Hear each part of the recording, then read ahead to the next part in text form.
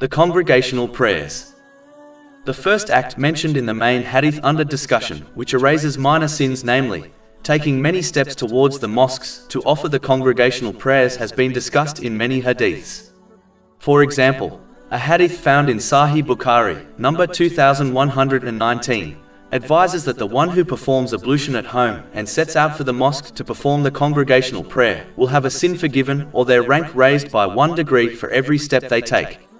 The angels will keep praying for their forgiveness as long as they remain inside the mosque without breaking their ablution and refrain from causing trouble for others. Finally, they will be recorded as one who is offering prayer as long as they are waiting for the congregational prayer to begin. This same hadith advises that the congregational prayer is 25 times greater in reward than performing it at home or at work. In a hadith found in Sahih Bukhari, number 2891, the Holy Prophet Muhammad, peace and blessings be upon him, advised that every step one takes towards offering the prayer in congregation at a mosque is recorded as charity. The Holy Prophet Muhammad, peace and blessings be upon him, gave glad tidings of a complete light on the day of resurrection for those who walk to the mosques for the congregational prayers in the dark. This refers to the morning and late evening obligatory prayers.